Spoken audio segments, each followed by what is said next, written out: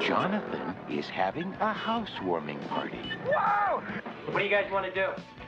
Well, we could play hide and go seek. Yeah. What about Trivial Pursuit? Yeah. Strip poker. Yeah. I got an idea. Let's do a ritual.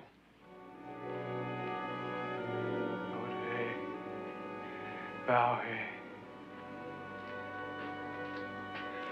Yod hey, bow hey.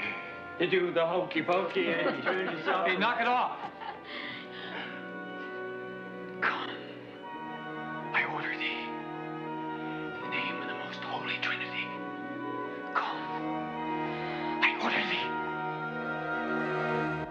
thee. Well, that was fun. No, no, wait. I, I need to dismiss the spirit. So do I. Where's the bathroom? Upstairs. Unfortunately, there will be some surprise guests. They have very bad manners. And they have no respect for privacy. They'll wake up the neighbors, What the hell's in there? and they never take no for an answer. Man, that chick is really a screamer.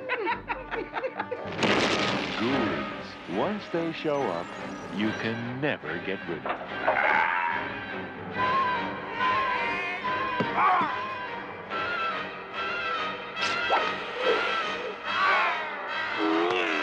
Ghoulies. They'll get you in the end.